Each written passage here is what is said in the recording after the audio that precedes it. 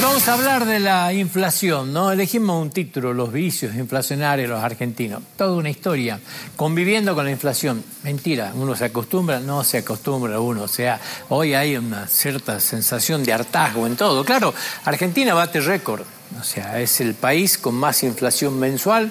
Antes siempre teníamos Venezuela, que era el pequeño consuelo que nos quedaba. Hoy es el único país con una inflación anual de tres cifras, por ejemplo. ¿sí? Hasta ese rara este, premio hemos obtenido, digamos, y convivimos con esto sin acostumbrarnos, pero padeciéndola permanentemente. Hoy de repente se empieza a ver por lo menos una necesidad de atacarlo en forma frontal. Creo que no se puede discutir. Usted podrá hablar de errores, pueden haber cosas que se interprete que no está bien. Lo que no se puede discutir es que el gobierno de Javier Milei apuntó acá específicamente. ¿Para esto qué es lo que hizo? Y bueno, arrancó la primera, la primera gran discusión. ¿Quién genera la inflación? Y es la emisión monetaria.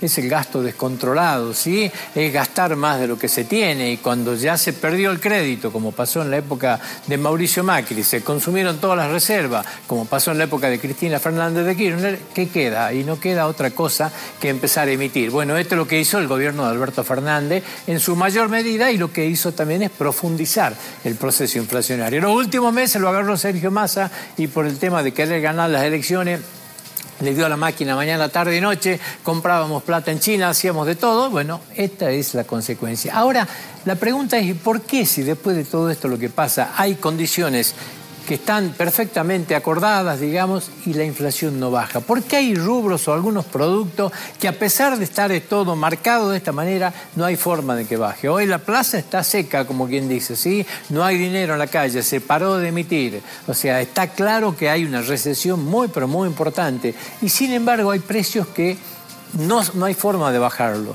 En algunos rubros empiezan a hablar, a ver, repuesteros, este, venta de, electrodomésticos, dicen, todo esto se ha calculado con un dólar probable de 1.400, 1.500 pesos. El gobierno de Javier Milei arrancó con muchos empresarios hablando de un dólar a futuro de 1.400, 1.500, pero ese dólar no está.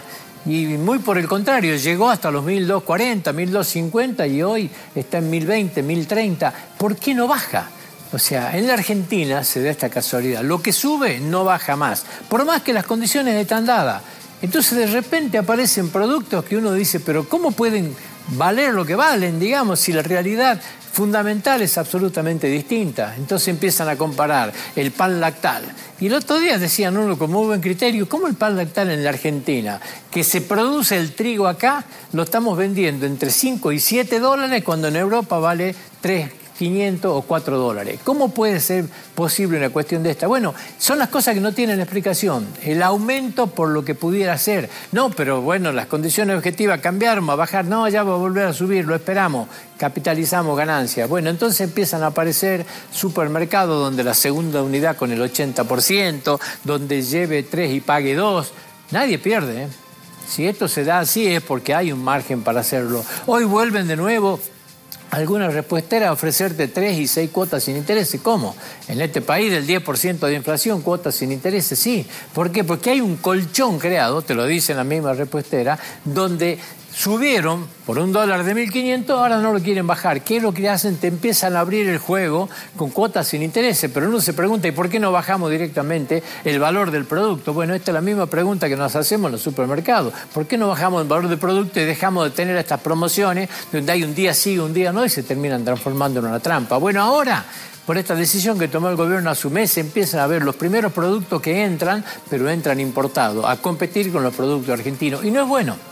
No es bueno porque va a pegar en el corazón de la industria, porque vienen para quedarse, porque ahora en que ajuste el industrial, la realidad es que son productos que vienen a estar acá. Y ahí aparecen, van a aparecer los pan lactales, aparece el atún, aparece el café. O sea, son muchos los productos que vamos a empezar a convivir, que van a tener insumos este, calculados distintos, que van a tener la cerveza. O sea, empezaron a aparecer un montón de cerveza. A pesar de la cantidad de cerveza que tenemos en Argentina, aparecen un montón de cervezas de otros lugares que empiezan a impactar de esta manera, ¿no es cierto? Sí, ¿por qué? O sea, ¿por qué se da esta situación? Van a aparecer pastas ¿sí? empiezan a aparecer productos de Brasil, de Uruguay, de Paraguay, son los primeros que van a entrar y usted lo va a empezar a ver en la góndola. Ahora, hacía falta llegar a esto, no hay forma de llegar a un consenso, no hay forma de cambiar esta actitud inflacionaria que tenemos en la cabeza y poder llegar sin hacer este tema y dañar a la industria nacional. Parece que no. El argentino tiene la inflación en la cabeza, o sea, subimos por si acaso. Bueno, esto va a demorar mucho en cambiar.